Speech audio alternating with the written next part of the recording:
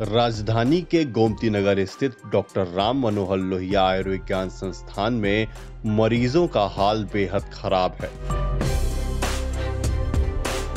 आलम यह है कि रोगियों और तीमारदारों को बैठने तक की समुचित व्यवस्था नहीं मिल पा रही, जबकि उप मुख्यमंत्री व चिकित्सा शिक्षा मंत्री ब्रजेश पाठक हर मंच से यह कहते हुए नज़र आ रहे हैं कि मरीजों को भगवान माने।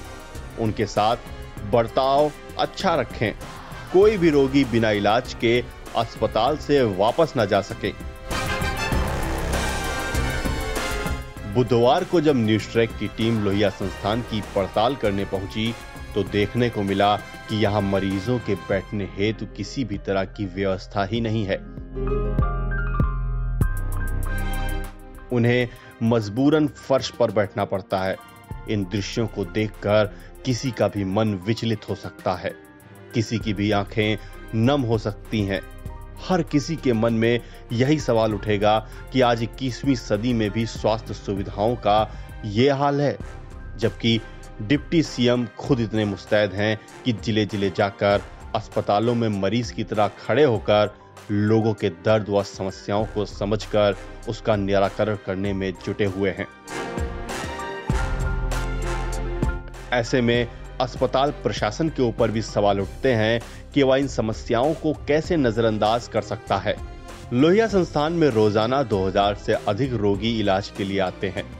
यहाँ न सिर्फ़ पूरे यूपी, बल्कि आसपास के राज्यों के भी मरीज़ आते हैं।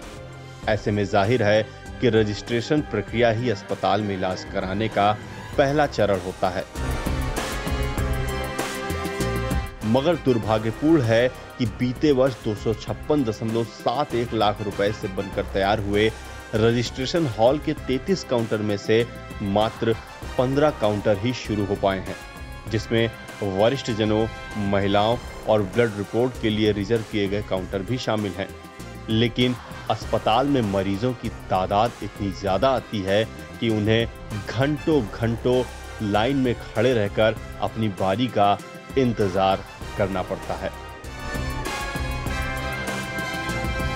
Report video